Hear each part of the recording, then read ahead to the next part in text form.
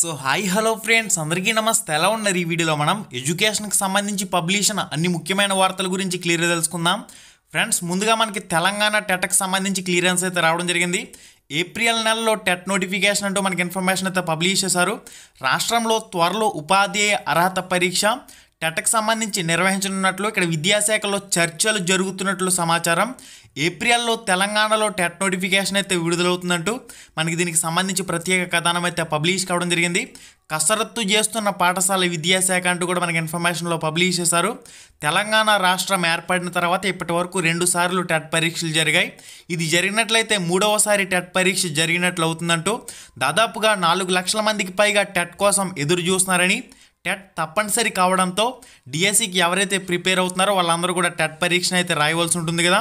దానికి సంబంధించి ఇన్ఫర్మేషన్ అయితే పబ్లిష్ చేశారు. ప్రతి ఆరు నెలలకి ఒకసారి టెట్ పరీక్ష నిర్వహించవలసి ఉండగా దీన్ని తీవ్ర జాప్యం అయితే చేస్తున్నట్లు కూడా మనకి ఇన్ఫర్మేషన్లో పబ్లిష్ చేస్తున్నారు. ఓకే ఫ్రెండ్స్ ఇది మనకి తెలంగాణకు సంబంధించి.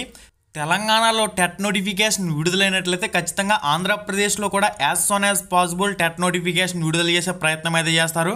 మనకి ఆంధ్రప్రదేశ్లో కూడా తెలంగాణలో టెట్ వచ్చినట్లయితే ఆంధ్రప్రదేశ్లో కూడా ఖచ్చితంగా టెట్ నోటిఫికేషన్ అయితే వస్తుంది. మీ ప్రిపరేషన్ కొనసాగించుకోండి. మనకి నెక్స్ట్ వచ్చేసరికి ఏటా ఉద్యోగాల భర్తీ చేయకుంటే కష్టమే అంటూ ఈ న్యూస్ ఆర్టికల్ అనేది ఈనాడు న్యూస్ పేపర్లో మెయిన్ ఎడిషన్లో పబ్లిష్ కావడం జరిగింది. కార్యాలయాల సమర్థత పనితీరుకి ఇది తప్పనిసరి. అసుతో మిశ్రా కమిటీ నివేదిక సిఫార్సు. రాష్ట్రంలో పరిస్థితి ఇందుకు భిన్నమంటూ కూడా మనకి ఇన్ఫర్మేషన్లో పబ్లిష్ చేస్తున్నారు. ఆంధ్రప్రదేశ్లో ప్రభుత్వ కార్యకలాపాలు సమగ్రంగా పనిచేయాలంటే ఖాళీ అవుతున్న పోస్టులను గుర్తించి ప్రతి ఏటా భర్తీ చేయాల్సిందని అసుతోష్ మిశ్రా కమిటీ నివేదిక ప్రభుత్వానికి స్పష్టం చేసింది. కార్యాలయాలు ఒక పద్ధతి ప్రకారం సమర్థవంతంగా పనిచేయాలంటే ఎప్పటికప్పుడు ఖాళీలను భర్తీ చేయడమే ముఖ్యమని పేర్కొంది.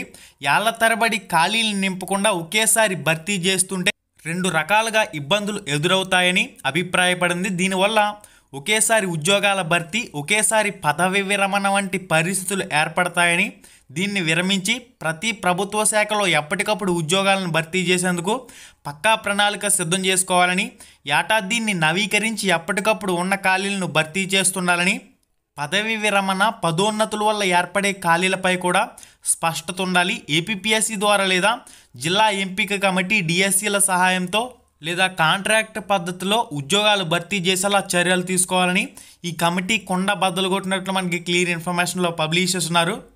ప్రధానంగా వైద్య రంగం కుటుంబ సంక్షేమ శాఖ దీంతో పాటుగా విద్యారంగంలో గిరిజన సంక్షేమ రంగాల్లో వ్యవసాయ రంగాల్లో మనకి భారీ స్థాయిలో ఉన్న ఖాళీల్లో ఇరవై శాతం ఖాళీలు ఉన్నట్లు మనకి నివేదికలో మెన్షన్ చేశారు. ఈడాటి విద్యా సంస్థల్లోనూ భారీగా ఖాళీలు ఉన్నాయని వాటిని కూడా భర్తీ చేయడం లేదంటూ కూడా మనకి ఇన్ఫర్మేషన్లో పబ్లిష్ చేశారు. ఏటా క్యాలెండర్ లేదు భర్తీ లేదంటూ కూడా దీనికి సంబంధించి ఇన్ఫర్మేషన్లో మెన్షన్ చేయడం జరిగింది. పదివేల నూట నలభై మూడు ఉద్యోగాల భర్తీకి సంబంధించి రెండు వేల ఇరవై రెండు మార్చి నెలలో ఉద్యోగాల క్యాలెండర్ని అయితే విడుదల చేశారు. కానీ ఆ క్యాలెండర్ ఎందుకు విడుదల చేశారనేది కూడా వాళ్ళకే అర్థం కాని పరిస్థితి. ఒక ఉద్యోగాన్ని కూడా భర్తీ చేయలేదు. ప్రతి సంవత్సరం పోలీస్ శాఖలో ఉన్న ఖాళీలు APPSC Andhra Pradesh public service commission group one group two group three నోటిఫికేషన్లు కూడా రావడం లేదు. డిఎస్సి ప్రకటిస్తామని హామీ ఇచ్చారు. ఈ ఏడాది జనవరిలో జాబ్స్ క్యాలెండర్ విడుదల చేయలేదు. ఈ పరిస్థితుల్లో అటు ఉద్యోగులు కామా ఇటు నిరుద్యోగులు అసంతృప్తితో ఉన్నారంటూ అశుతోష్ మిశ్రా కమిటీ నివేదిక వెల్లడించింది. ఇది కొండ బదలగొట్టినట్లు మనకి క్లియర్ ఇన్ఫర్మేషన్ ప్రభుత్వానికి అందిస్తుందంటూ మనకి ఇన్ఫర్మేషన్లో పబ్లిష్ చేస్తున్నారు.